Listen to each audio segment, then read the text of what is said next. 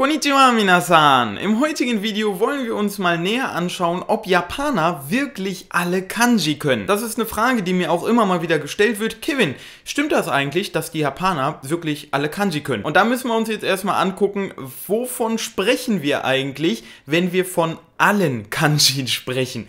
Kanji gibt es eine ganze Menge. Was sind Kanjis? Erstmal, Kanjis sind chinesische Schriftzeichen. Und die haben die Japaner irgendwann aus China importiert und übernommen. Von denen gibt es ursprünglich, glaube ich, an die 80.000, wenn nicht sogar noch mehr. Aber das sind natürlich nicht all die, die in Japan auch tatsächlich verwendet werden. Verwendet werden ungefähr so an die, ja, sagen wir mal 11.200 irgendwas. Zumindest sind das die Zeichen, die in so einem Kanji-Index in Japan stehen. Das heißt, die gibt es theoretisch oder werden theoretisch in Japan verwendet. Davon werden aber nicht alle im Alltag verwendet, sondern im Alltag verwendet werden ungefähr 2136. Zumindest sind diese 2136 die sogenannten Joyo-Kanji, also Kanji für den alltäglichen Gebrauch. Und die sollte jeder Japaner auch können, beziehungsweise ist das die Anzahl, die das Kultusministerium rausgegeben hat und die die Japaner bis zum Ende der Mittelschule in Japan auch lernen. Grundschule in Japan geht sechs Jahre, Mittelschule in Japan geht drei Jahre.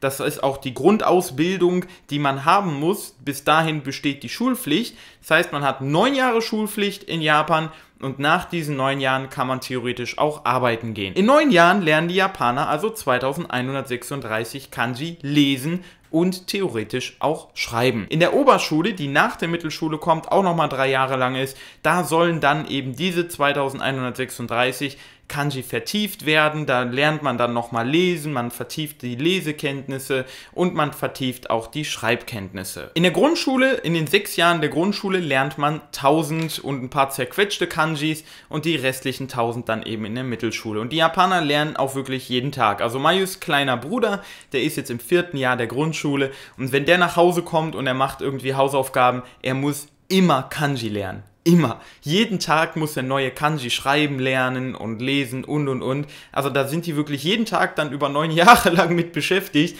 Und das ist natürlich schon eine Menge, wenn man sich das mal so überlegt. Und deswegen ist es auch für Leute, die Japanisch lernen, immer relativ schwer. Ich selber bin jetzt auch nicht so der größte, ja, was heißt Kanji-Fan aber ich tue mich damit auch ein bisschen schwer mit den Kanji immer mal wieder. Mittlerweile kann ich die meisten lesen. Ich kann längst nicht alle schreiben, aber die meisten kann ich mittlerweile lesen. Es dauert aber seine Zeit, bis man die dann auch wirklich gut drauf hat. Das ist also die Anzahl an Kanjis, die so gebraucht wird, auch in Zeitungen. Wenn man Zeitungen liest, dann werden diese 2000 irgendwas nicht mit Fudigannern oben drüber geschrieben. Fudigana heißt, dass man über die Kanji die Lesung der Kanji in Hiragana nochmal drüber schreibt.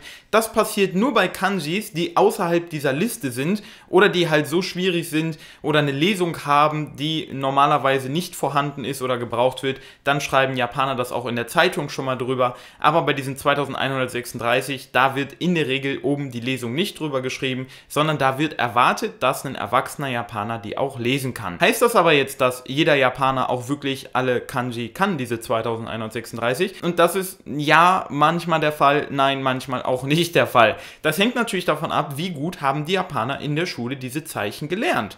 Und da gibt es natürlich Japaner, die die sehr gut gelernt haben und dementsprechend auch alle Kanji super lesen und schreiben können. Aber es gibt auch Japaner, die nicht so gut in der Schule waren, nicht alle Lesungen so gründlich gelernt haben und nicht so gründlich das Schreiben gelernt haben, weshalb sie dann auch im Erwachsenenalter einige Kanji-Kombinationen nicht lesen können und einige Kanji auch einfach nicht schreiben können. Da man in der Regel aber die Bedeutung des Kanjis weiß und aus dem Satzzusammenhang die Bedeutung dieses Wortes irgendwie rausbekommen kann, haben die im Alltag relativ wenig Probleme und ich höre auch immer mal wieder von Mai oder so, ja, wie man das liest, das weiß ich jetzt nicht, aber durch die einzelnen ne, Bedeutungen der Kanji, weil ich die einzelnen Zeichen kenne, kann ich da irgendwie ablesen, was das jetzt bedeutet. Deswegen ist es also nicht so schlimm, wenn man ein paar Mal nicht kann. Was das Schreiben angeht, so muss man sagen, ist es in Japan natürlich so wie in Deutschland, es schreiben kaum noch Leute irgendwas handschriftlich. Wenn man mit irgendwem chattet, entweder passiert das über PC mit einer Tastatur oder es passiert über Handy, auf dem man auch eine Tastatur gebraucht. Und bei den Kanji ist es jetzt so,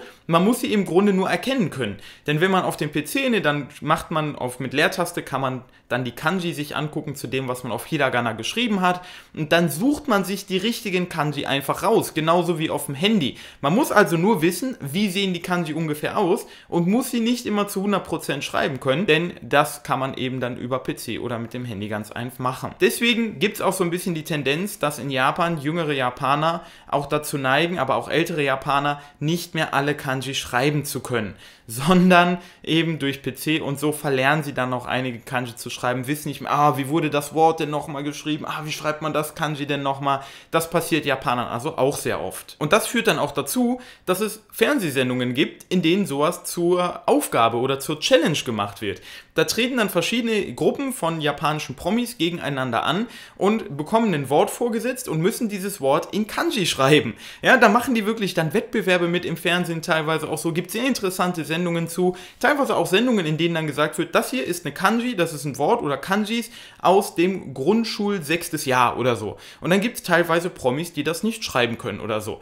Ne? Also da kann man dann eben auch schöne Sendungen mitmachen im japanischen Fernsehen, weil eben nicht immer alle sich genau erinnern, wie man die einzelnen Kanji jetzt schreibt. Aber die Grundwörter, die können die alle schreiben, das muss man sagen, nur eben komplexere Wörter, da vergessen Japaner das dann manchmal auch. Aber im Grunde können die das meiste auch heute noch handschriftlich schreiben, weil es in der Schule eben auch gelernt wird. Man muss es handschriftlich schreiben und lesen sowieso das aller, allermeiste. Es gibt in Japan auch den sogenannten Kanken. Das ist ein Kanji-Test, ganz offizieller Kanji-Test. Und die höchste Stufe dieses offiziellen Kanji-Tests beinhaltet 6000 Kanji. Also den Test haben auch nur ganz, ganz wenige Leute in Japan gemacht und bestanden, weil da muss man dann richtig aktiv natürlich schon für lernen. Wenn man in der Schule war, hat man die 2136. Wenn man aber dann diesen Kanken machen will, muss man nochmal ungefähr 4000 Zeichen zusätzlich lernen. Und da haben natürlich jetzt auch nicht so viele Japaner Bock drauf, das zu tun. Das ist also der oberste Test, die zweite Stufe dieses Tests. Da braucht man dann eben die Kanji, die 2100 irgendwas Kanji für.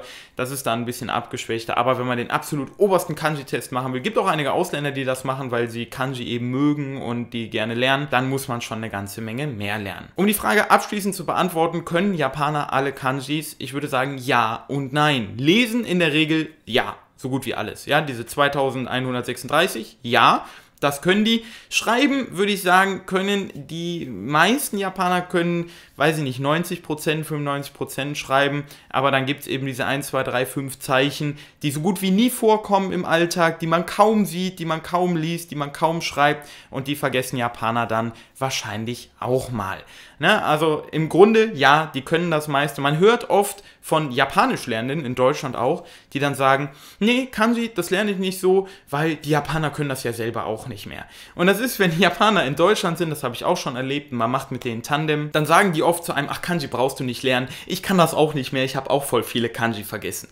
Das sagen die Japaner immer so. Aber im Endeffekt können sie trotzdem noch total viele Kanji schreiben und natürlich auch lesen. Und Japaner haben da halt so, die mussten das jeden Tag lernen.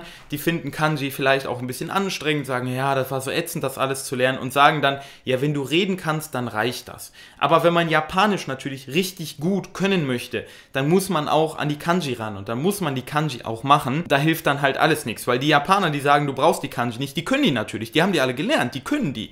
ja, ist für die dann einfach zu sagen, ja, ja, das brauchst du nicht, weil die halt oft auch nicht davon ausgehen, dass man jetzt direkt nach Japan geht und dann dafür immer lebt oder so. Und sich selbst auch oft gar nicht so bewusst darüber sind, wie oft sie diese Kanji gebrauchen, wie oft sie Kanji lesen, weil es für sie halt normal ist und zur Sprache dazugehört. Deswegen Lernt Kanji, es ist wichtig, Kanji zu lernen, vor allem sie zu lesen. Das Schreiben, da würde ich auch sagen, ist gerade in der heutigen Zeit nicht immer so wichtig. Man sollte gewisse Grundzeichen auf jeden Fall drauf haben, aber man muss längst nicht alles schreiben können. Lesen ist aber sehr, sehr wichtig, dass man die Wörter erkennt, dass man weiß, was die Wörter bedeuten und dass man sie eben auch lesen kann. Ich hoffe, das war eine gute Antwort. Hatte auch ein Zuschauer nämlich gefragt, macht doch mal da ein Video drüber und ich hoffe, ihr wisst jetzt ein bisschen genauer, wie die Welt der Kanji so aussieht. Wie gesagt, in diesem Index stehen irgendwie 11.000 noch irgendwas Kanji.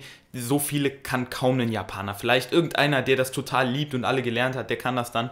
Aber die meisten können halt diese 2136 und das war es dann auch. Aber damit kommt man in Japan auch zurecht. Das reicht vollkommen aus. Also mehr braucht man nicht, um hier gut zurechtzukommen. Japaner, die gerne Romane lesen, die können noch mal ein bisschen mehr, weil in Romanen teilweise noch neue Kanjis vorkommen und so. Die können in der Regel noch ein bisschen mehr belesene Japaner, aber ansonsten reichen die 2136 auch erstmal. Nun das war's von diesem Video. Falls ihr meine Arbeit unterstützen wollt, könnt ihr gerne mal in die Videobeschreibung gehen. Da gibt es einen Link, über den ihr mich durch eine direkte Spende unterstützen könnt. Es gibt Online-Kurse, falls ihr jetzt mit Japanisch anfangen wollt, ja, Hiragana, Katakana, das sind die Grundzeichen, damit fängt man immer an. Habe ich auch Kurse für euch, schaut mal gerne in die Videobeschreibung. Und es gibt meinen Amazon Affiliate Link. Wenn ihr über diesen Link was auf Amazon kauft, bezahlt ihr keinen Cent mehr, aber ich bekomme noch eine kleine Provision und so könnt ihr meinen Kanal natürlich auch unterstützen. Vielen Dank fürs Zusehen und hoffentlich bis zum nächsten Mal. Tschüss!